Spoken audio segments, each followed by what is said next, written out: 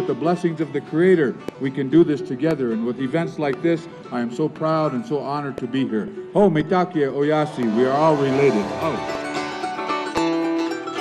Perhaps the easiest way to describe the National Council for the Traditional Arts, or NCTA, is to say they're in the miracle business. They are to folk festivals what Johnny Appleseed was to apple trees. Wherever the nonprofit arts organization goes, folk music, traditional culture, and pride in America's ethnic heritage take root and grow. After visits by the NCTA's National Folk Festival, thriving local festivals sprang up in Bangor, Maine, Richmond, Virginia, Lowell, Massachusetts, Dayton, Ohio, and other places.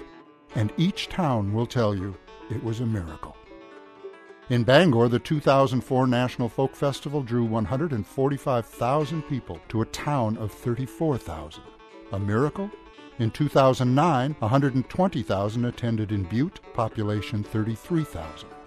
The National changes the cities it visits forever. The Bangor waterfront was once a place of decay and embarrassment. It is now a tourist attraction with a performance center that draws thousands to its summer concert series. Butte used to regard its ruined mines as a blight, but when the National used an old mining head frame as the backdrop for its main stage, it became a source of great pride. The landscape that makes Butte, Butte. If ever a single event has the capacity to bring a city alive, this is it, says Montana Governor Brian Schweitzer.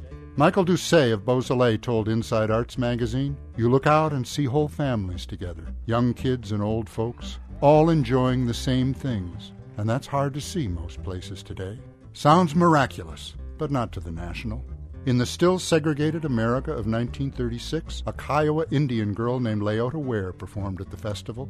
When she told her grandmother what she'd seen, blacks, whites, Latinos, Native Americans sharing their music, eating together, talking together, her grandmother said, Heaven will be like that.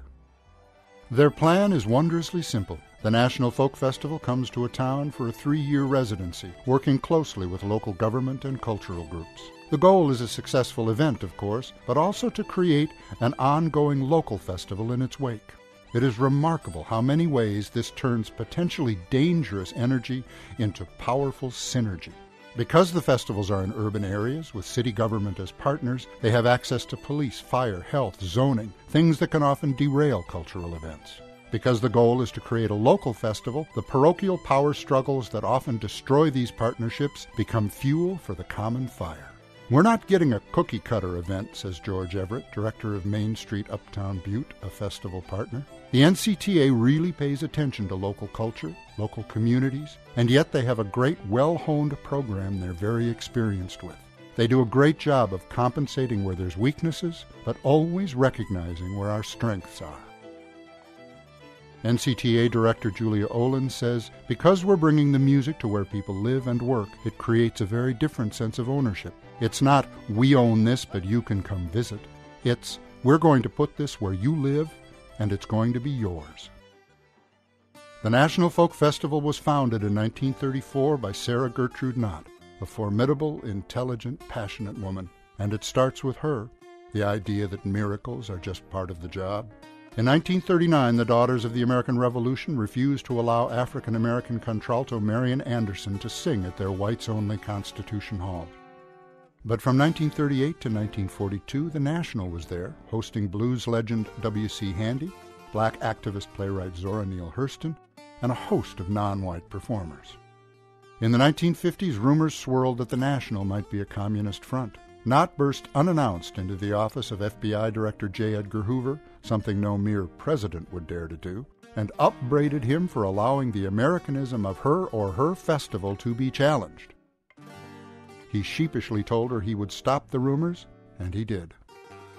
And yet, throughout the McCarthy era, the National regularly hired blacklisted folk singer Pete Seeger. Miracles. But by the 1960s, the National seemed tired, out of step.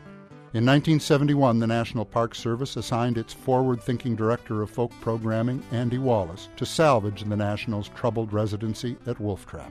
He brilliantly revitalized it, mixing purely traditional acts with professional folk stars and ensuring that the partnership with the National Park Service became ongoing. In 1976, the NCTA was formed as the National's umbrella organization, and Joe Wilson became its director.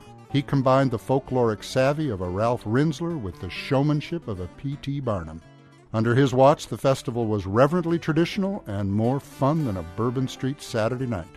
Some of today's biggest folk stars thank the National for helping launch their careers, including Alison Krauss, Michael Flatley, Shemekia Copeland, Steve Riley, Ricky Skaggs, and Solas. The NCTA also produces scores of musical tours, both national and global, operates the Blue Ridge Music Center, helps with cultural programming for national parks, the Library of Congress, and the National Endowment for the Arts, produces TV programs, radio shows, films, and CDs, all in a day's work. And what's the payoff for them? Julia Olin remembered cowboy poet Paul Zarzyski watching the National in Richmond a few years ago. This has been so good for me, he told her.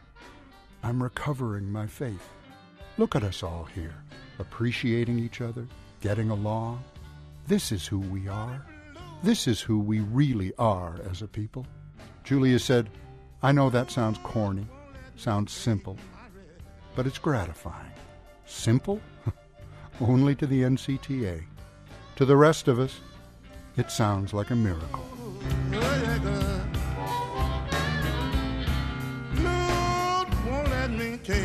Lord,